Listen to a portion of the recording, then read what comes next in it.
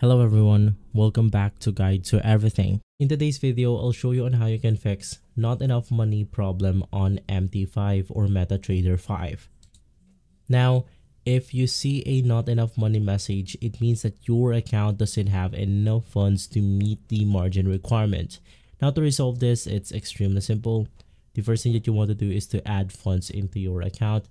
So if you have something like Binance.com as a broker. Now that is only an example. You can just go ahead and navigate through your broker account and from there you then want to add additional funds. The second way is to simply go ahead and close out some trades.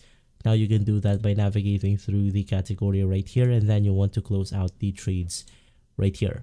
Or the last thing to fix this is to increase your leverage ratio.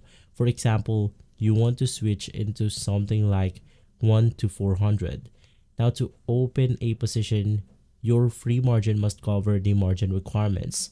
MT4 or MT5 won't let you open positions if your margin level drops to 100% or less, thus giving you the error message. If this video has been helpful, leave a like, subscribe, and follow Guide to Everything for more videos like this. Thanks for watching.